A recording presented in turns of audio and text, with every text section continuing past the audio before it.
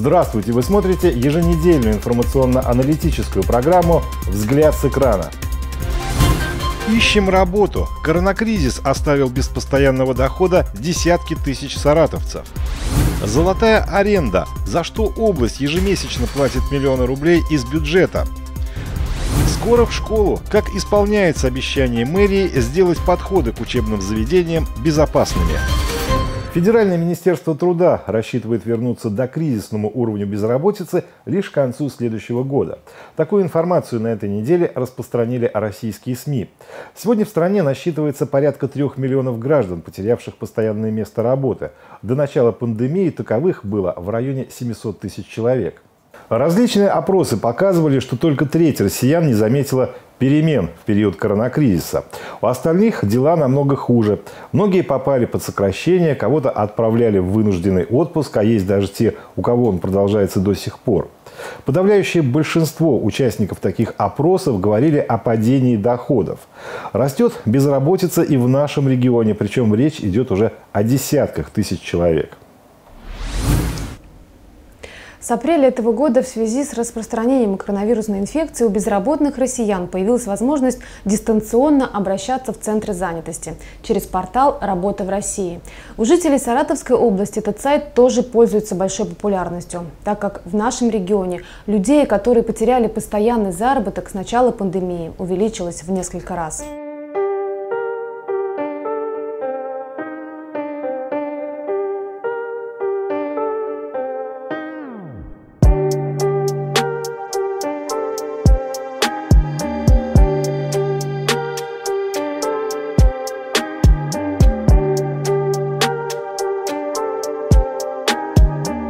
Саратовстата, за первый квартал этого года общее количество незарегистрированных безработных в Саратовской области составляет в среднем порядка 52 тысяч человек. Это почти столько же, как за весь прошлый год. Число же зарегистрированных нетрудоустроенных в службе занятости, по словам заместителя министра труда и социальной защиты Натальи Михайловой, с начала пандемии до сегодняшнего дня возросло с 10 с небольшим тысяч человек до 53 тысяч. Вместе с тем мы видим, что темпы роста безработицы в области замедлились.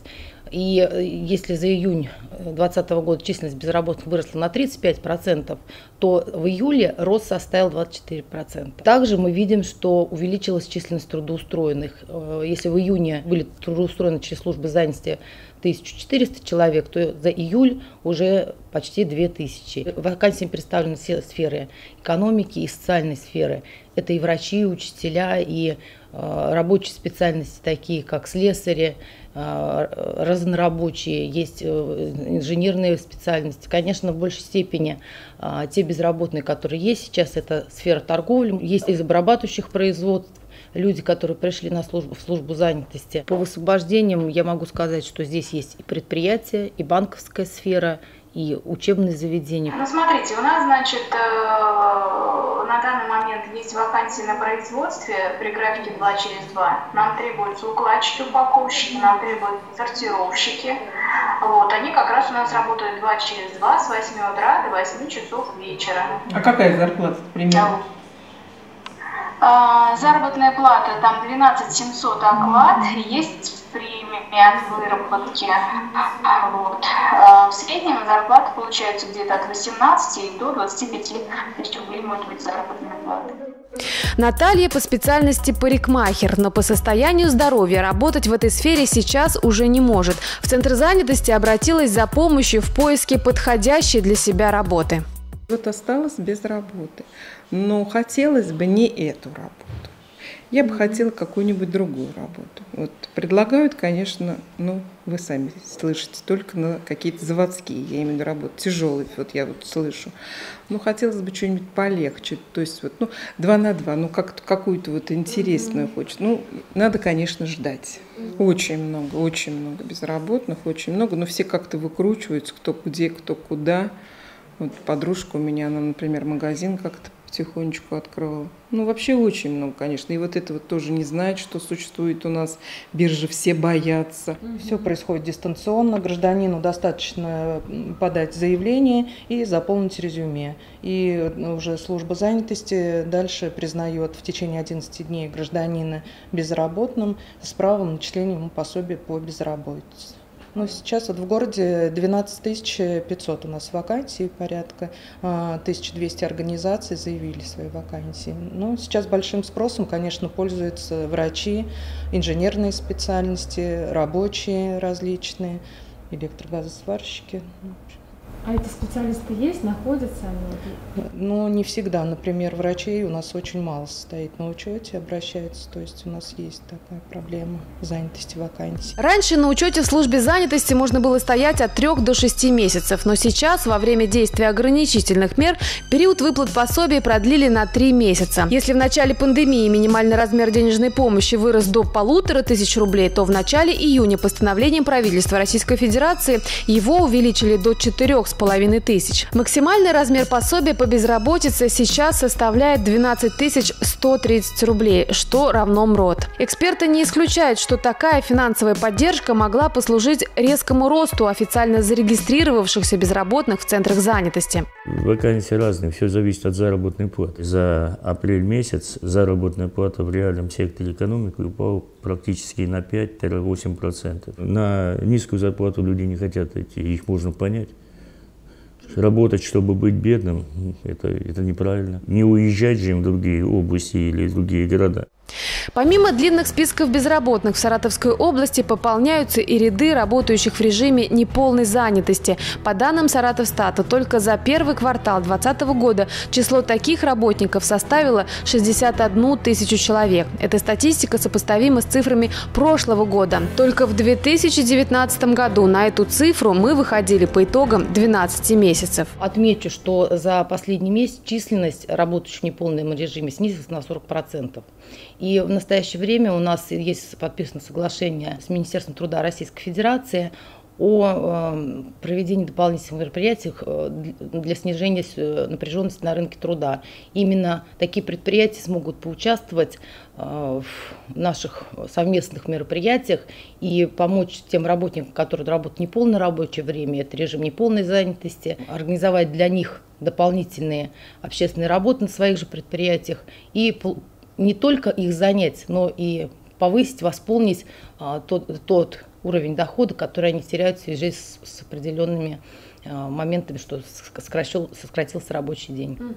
Порядка, это будет порядка 400 человек на область, вот, заложено в соглашении с Минтрудом. Еще порядка 2000 человек, оказавшихся в трудной жизненной ситуации, получили помощь из федерального центра в рамках программы социального контракта.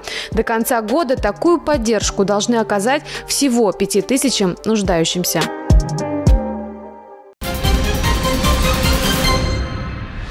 12 миллионов 669 тысяч – такова сумма, которую ежемесячно бюджет области платит за аренду только 20 объектов под размещение организаций, подведомственных различным региональным министерствам и ведомствам. На деле эта сумма, конечно, намного больше. В распоряжении редакции оказался список только из 20 объектов. В нем несколько саратовских поликлиник, школы Олимпийского резерва, спортивные залы, теннисные корты, библиотеки и много чего еще – на проблему мы решили обратить внимание после громкой истории с колледжем искусств. Под размещение учебного заведения арендуется исторический особняк. Цена вопроса 2 миллиона 385 тысяч рублей в месяц или 1010 рублей за квадратный метр.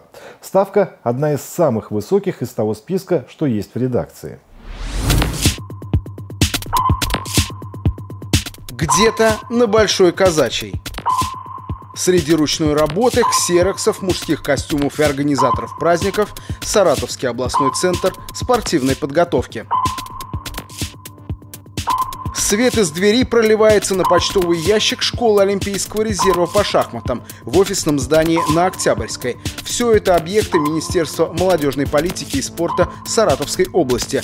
По словам Александра Абросимова, сейчас из 23 подведомственных организаций свои помещения есть только у 11. Всего же на аренду площадей в год уходит 8 миллионов областного бюджета. Областная инфраструктура не позволяет в полной мере охватить тренировочный процесс для спортивных школ области. У нас в подведомственных учреждениях занимается более 9 тысяч детей и вынуждены здесь арендовать. Ну, например, плавание. У нас нет ни одного государственного бассейна. А, тот же бассейн Саратов, который на Чернышевской, он находится в муниципальной собственности, поэтому наша областная школа вынуждена арендовать а, по, для тренировочного процесса. Но, тем не менее, мы максимально используем свои площади, наши объекты на 100% загружены. Э, с нетерпением ждем ввода в эксплуатацию Дворца водных видов спорта, и тогда наши водники, так скажем, обретут тоже свой дом, и тоже это будет определенно, конечно же, повлияет на снижение нагрузки, связанной с арендной платой. Региональными министерствами в аренду берется все, от тренажеров и плавательных дорожек до весьма крупных зданий. Так, самая внушительная позиция с ежемесячной платой в 2 миллиона 385 тысяч рублей у Минкульта за областной колледж искусств. На втором месте аренда помещения под библиотеку для слепых в детском парке. Но, к сожалению, если было в государственной собственности что-то на сегодняшний момент подходящее, я думаю, мы давно уже ушли в эту собственность. Потому что все, что на сегодняшний момент предлагается, собственность либо заброшенная, либо требующая большого капитального вложения, либо еще чего-то. Либо это находится там, где не нужно никому, потому что что такое слепые, да, почему она именно здесь там выбрали, причем это выбрано давно, потому что подход должен быть, подъезд в конце концов должен быть к этому учреждению. А для того, чтобы сейчас любое помещение взять, в него нужно очень много вложить. Мы сейчас вот уже это испытали все на нашем колледже искусств. Поэтому у нас аренды на самом деле очень минимум, это только самая необходимость, которая есть на сегодняшний момент. Но поверьте, мы выбежали бы из любого здания, которое снимаем, если бы только было бы какое-то подходящее свое. Удивительно, но получить полный список арендуемых помещений практически невозможно. Эту информацию относят к сведениям, составляющим коммерческую тайну. Обнародовать ее можно лишь согласие обладателя недвижимости. Тем не менее, судьбу одного долгостроя на Гоголе 87 нам прояснить удалось. Вот этого здания в эксплуатацию мог бы решить проблемы с арендой у многих организаций. Возведение здания началось еще в 2011 году. Исполнитель – Госжилстрой, заказчик – правительство области. То есть по завершению строительства у региона фактически появится свое помещение под офисы. За это время высотка обросла скандалами есть свидетельство судебных тяжб о взыскании задолженности к договору о совместной деятельности между подрядными организациями на сумму порядка 230 миллионов. Пока же объект не введен в эксплуатацию. Как говорит министр строительства и жилищно-коммунального хозяйства, сейчас назначение объекта не определено. Объект э, сейчас в стадии незавершенного строительства находится, поэтому сейчас э, определяемся, как его дальше использовать, потому что для достройки порядка 70 миллионов необходимо. Поэтому будем сейчас э, находить выходы. Что дальше? Где изыскивать, как бы сказать, средства и находить выход из этой ситуации. Что по назначению его, для чего нам возможно вот, использовать? Ну там надо, возможно-то под все. Для этого нужно сейчас просто нести изменения в проектную документацию, нам надо определиться просто, как это будет, и будем этим заниматься. Этим, этим мы занимались еще с прошлого года, тоже этим вопросом. Как говорит депутат областной думы Леонид Песной, хорошо хоть туда доступ ограничен, иначе бы этот объект добавил бы и проблем другого рода. При этом 6,5 тысяч квадратных метров полезной площади попросту пустуют, хотя там могли бы размещаться все те структуры, кто имеет отношение к строительству. Когда-то была идея в КПСО «Госжилстрой», который, кстати, арендует офис, и сейчас арендует. И не только они, арендуют фонд капремонта, арендуют часть Минстроя на улице Челюшкинцев. Они все арендуют помещение иного собственника и, наверное, какую-то аренду оплачивают. Значит, э, сделать э, там офисное здание для размещения госжилстроя, ну, может быть, еще и каких-то структур, потому что куда им 6 тысяч метров. Причем первый этаж там достаточно уникальный, там больше 4 метров высота, Э, когда был э, сырбор из-за колледжа искусств, значит, э, я его присматривал и мое мнение как инженера, что и размещение, размещение этого учреждения там возможно. Но факт остается фактом. То есть э, в центре города, на одной из центральных улиц, стоит э, пять лет никому не нужное здание, которое де юры, хоть и не завершенка, является собственностью Саратовской области. Мы только за колледж, за школу искусств платим 25 миллионов в год. Это просто постоянный показатель. Сколько мы платим в целом за аренду? Ну, я думаю, что это знают специалисты комитета по управлению имуществом. Но могу предполагать, что окупаемость этого здания в случае его достройки потребует какого-то количества времени, но такого, приземленного. Может быть, три, может быть, пять лет. По мнению парламентария, средства на достройку долгостроя на Гоголя себя окупят за счет переселения туда тех, кто располагается в арендованных помещениях. А пока объект находится в таком положении, естественные причины в виде природных факторов лишь ускоряют его разрушение. Поэтому тема достройки высотки на Гоголе 87 должна переместиться на площадку областной думы.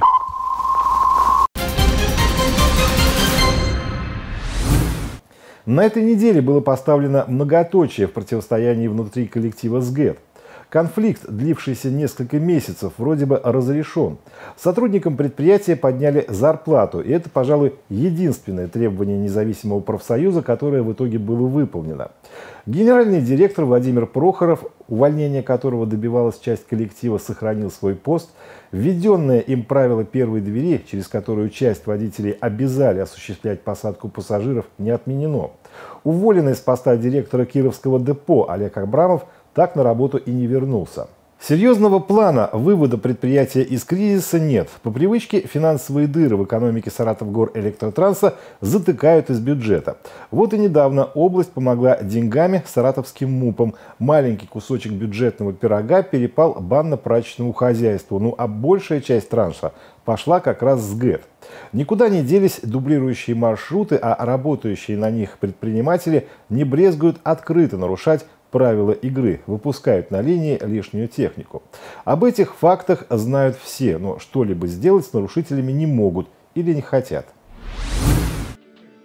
Несколько заседаний рабочих групп при региональном парламенте и городской думе. Споры, скандалы, крики и вяло текущий водительский протест. Только на этой неделе депутаты дважды собирали участников конфликта. Одна из встреч едва не закончилась разборкой между областными коммунистами и городским единороссом Дмитрием Кудиновым. Вы не копейки! И в эту неделю! Только баламутите! Идите вы отсюда, идите! Идите, не хотите работать, валите отсюда! Стоит отметить, что к моменту перепалки из зала ушли как представители мэрии, так и часть депутатского корпуса. Проблемы с ГЭТ не лучшая тема для пиара. Тут надо предлагать решения, зачастую нестандартные, чтобы хоть как-то удержать предприятие на плаву. Вот я никогда не поверю, что мы знаем, кто выводит, зная, что эти чьи это газели, что они выигрывают конкурс, и у нас что, нет механизма пообщаться с ним, чтобы он не нарушал закон. Из думского большинства от «Единой России» в зале были лишь председательствовавшие на заседании Леонид Песной да Юлия Литневская. Но депутат на зарплате не досидела до конца, как и ее сосед Станислав Денисенко из ЛДПР. Показательным было заседание рабочей группы при городской думе. Здесь тоже присутствовало считанное представительство депутатского корпуса. Создается впечатление, что СГЭТ нужен только пассажирам да небольшой группе народных избранников. Вопрос с зарплатами закрыли уже в самом начале. В принципе, мы как бы согласны с таким положением. Замечание, я просто сейчас про замечание, не про мнение, нет. а про замечание. Замечаний нет. Заработная плата не устраивает только кондуктора, потому что прибавили мало. Водитель троллейбуса 29 868, водитель трамвая 21 853. Так. При выполнении плана. Ну, Анастасия, конечно, при выполнении плана, а как не выполнять планы, может тогда вообще на работу не ходить. А, Маршрутки-то не уменьшается. На данный момент этот план собрать можно, выходя в выходные не выходя выходных, работать два через два план собрать нереально. Почему, Галуш? Люди есть выполняют, а которые ну, не выполняют, это что говорит о чем? Воруют, как всегда. Наверное, да. Я вот вам говорю. А я вам говорю, что а почему другие выполняют? Бывает. вы не выполняете, почему другие выполняют? Ну, ты, значит, ну, это просчитывается, наверное, это же... Выполняю. Я выполняю план. Мы за счет еще пересмотра штатного расписания сократили должностя, и у нас фонд не увеличивается. Сократив должностя, в СГЭТ нашли внутренние резервы для повышения зарплат сотрудников. Другие задачи руководству, да и представители муниципалитета, похоже, оказались не по зубам. В частности, как заставить владельцев маршруток, конкурирующих с трамваями и троллейбусами, исполнять условия работы, не выпускать на линии лишнюю технику. Мы фиксируем это, у нас нет никаких возможностей за это наказать. В городе Саратове без карт маршрут на данный момент не работает никто. В начале года такие случаи были, в частности удалили. Вы говорите, кто контролирует. Ну давайте назовем я контролирую. Я эти акты все составляю. У меня за последние два месяца проведено около десятка правил. Все факты зафиксированы, с резервами, без резервами. Все отправлены в территориальный орган э, государственного автодорожного надзора. Э, когда появляется, они посчитали, 8. Я вот на прошлом совещании говорил, телефон прямой мой, любой, звоните, выезжаем и всех наказываем. Ни одного такого звонка не было. Пишет транспортное управление письмо, которое приходит через несколько сколько-то дней, мы приезжаем, там этого нет. Тут вся работа, вся эффективность. Это в том, что он должна быть оперативной. Выявляет нарушение. Через 5 минут мы там будем. Как полиция работает? У него есть подозрение, вот база показала. Дальше идут на предприятие и смотрят, а какие машины вот. выпускались, а в какие часы выпускались. Все и готовится дело, да. в котором все это есть. Вот вам материальное доказательство. Поэтому я вам и говорю, в случае выявления факта лишних автобусов, маршрутов, допустим, водитель троллейбуса, кондуктор, увидел, что вместо пяти работает 10, сообщает директору, к примеру, директор нам приезжает и сразу привлекает к ответственности пятый раз собираемся действительно в разных ситуациях там, и каждый раз упираемся вот в какой-то тупик и ну, действительно со стороны кажется, что нежелание. А, муниципальное транспортное управление собирает материал, направляет, водители видят, а штрафовать не можем, пресечь не можем. Качестве помощи наша съемочная группа днем в четверг отправилась на перекресток Астраханска и Вавилова. Здесь проходят три дублирующих троллейбусы маршрута. За полтора часа съемок превышение зафиксировано на одном, номер 76. Вместо двух машин на линии ездили три. По призыву Вячеслава Ларионова звоним в Ространснадзор. Вот у них на одно превышает. Почему? Потому что администрация города Саратова выдала три маршрутные карты. А на маршруте вообще, в принципе, должно есть два. Одна резервная, так называемая. Вот у нас статья, за которой мы можем привлечь перевозчика. Довольно-таки там большие штрафы. Это за отсутствие карты маршрута. У них карта маршрута на тех автобусах, которые не ездят, есть. То есть даже если они выпускают с резервной карты, это нарушение Это не нарушение считается. графика движения. Это полномочия администрации города Саратова. Я им объяснил. Почему проводит конкурс по этим маршрутам администрации города Саратов? Потому что это их полномочия. Они устанавливают графики, со соблюдением их следят, и пятое, десятое. А маршрутная карта это что такое? Это когда автобус ездит вообще ну, нелегально в нарушении закона 220-го федерального закона. И тут уже контролируем мы. В общем, и здесь тупик. Как удалось выяснить, рабочие группы по СГЭТ продолжат собираться и обсуждать проблемы предприятия. Главное, чтобы от слов когда-нибудь у нас перешли к делу.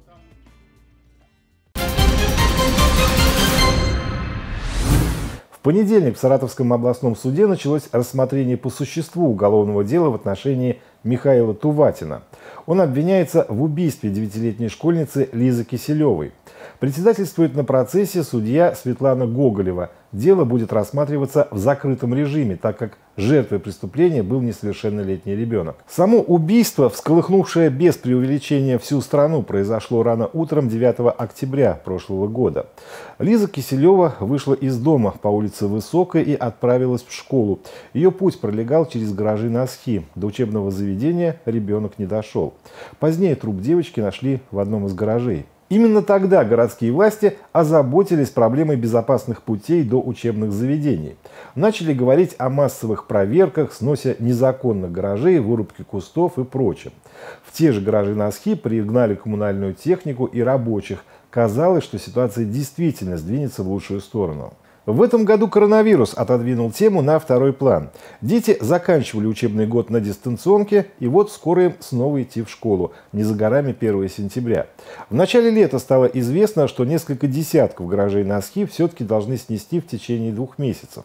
Проверить, исполнено ли это обещание и насколько безопасен сейчас путь до школы, где училась Лиза, отправилась наша съемочная группа.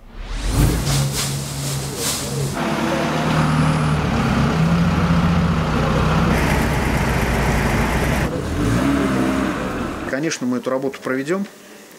Все, что не благоустроено в полуразваленном состоянии, мы будем инициировать снос.